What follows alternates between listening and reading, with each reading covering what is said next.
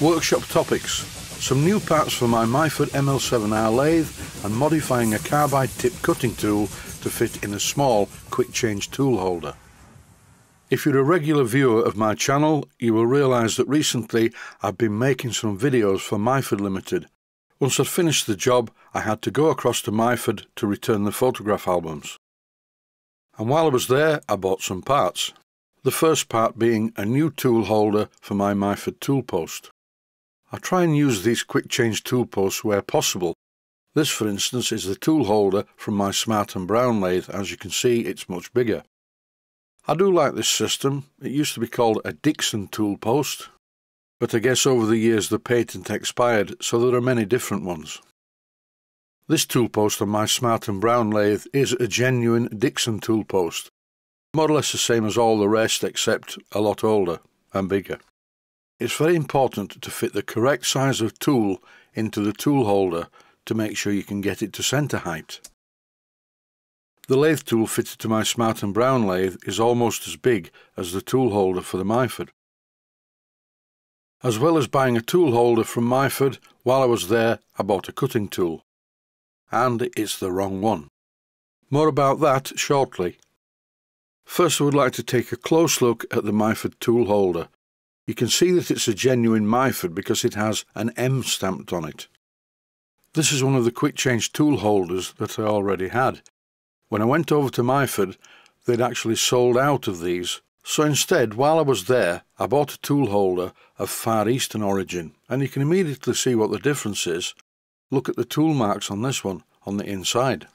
And apart from a slightly different knurled adjuster, it's identical to the Myford one. I'll put them side by side so you can see.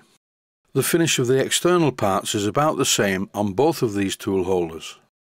These are both for my Myford ML7 lathe and as you can see the left hand one is fitted with the lathe tool from RDG Tools. This particular lathe tool is good but not for all operations.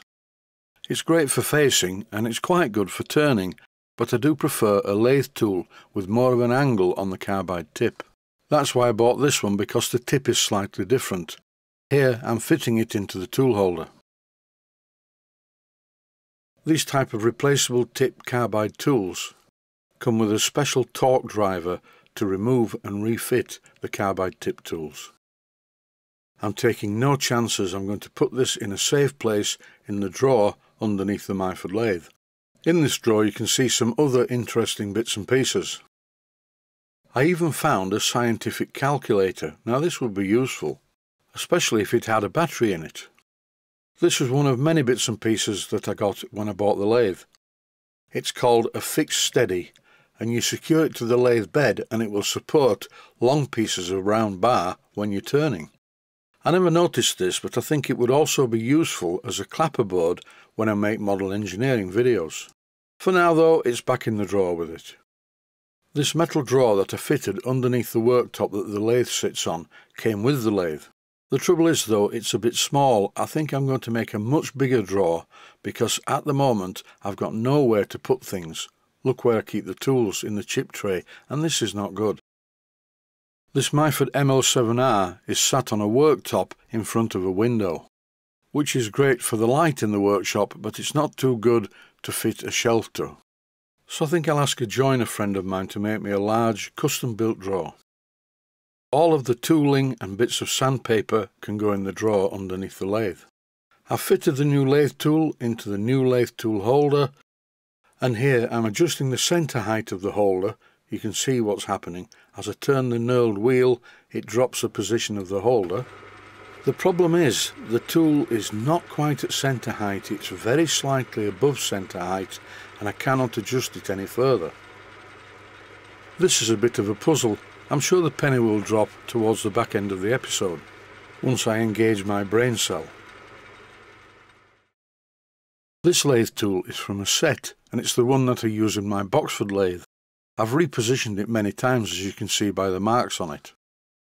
But the tool holder in the Boxford lathe is bigger than the one on the Myford, so there's more movement available to obtain centre height. I always thought that this was an 8mm square tool, but it isn't, it's 7mm square. which in this case is good because all I have to do is use my belt sander and remove 1mm from the bottom of the tool. A very simple job, which I shouldn't really have to do, but that's life. When I fit this into the Chinese tool holder, it's at perfect centre height now. And this tool is virtually identical to the one that I bought from Myford. The solution is very simple. The new Myford carbide tip tool is now fitted into the Boxford and the tool that was in the Boxford, that's part of a set, is now fitted to the Myford. At first I thought that the tool holders were different sizes, but that's not right. It turns out that this is the wrong cutting tool for a Myford tool holder. This one is 10mm square. But all's well that ends well because this is perfect for my Boxford and the other one, now just ground it down slightly, is perfect for the Myford. Stay safe and healthy, thanks for watching and I hope you found it useful. Please take the time to visit my Mainsteam Models website and click on the section of the website that says Video Playlists. And by doing that you can find other videos that you may like to watch. And by using the playlists you can actually watch the videos back to back.